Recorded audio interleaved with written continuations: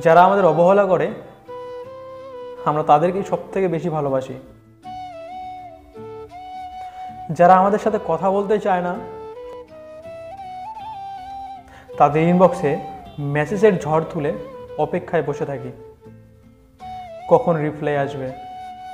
কিন্তু জানি মেসেজের রিপ্লাই কখনোই আসবে না।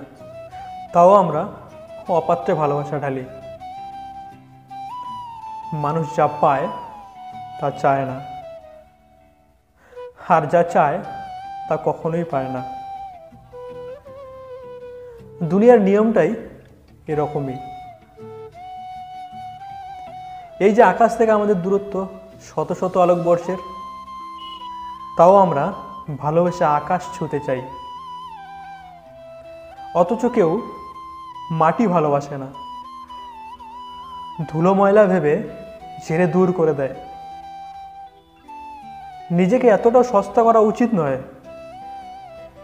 যারা আমাদের ইগনোর করে, তাদেরকে আমাদেরও ইগনোর করা উচিত। কারণ দিন শেষে আর কিছু না থাকলেও আত্মসম্মানটাই নিজের থাকবে।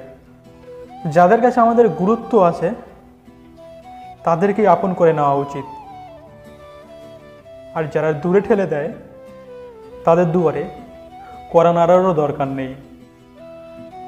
হ্যাঁ একদমই নেই।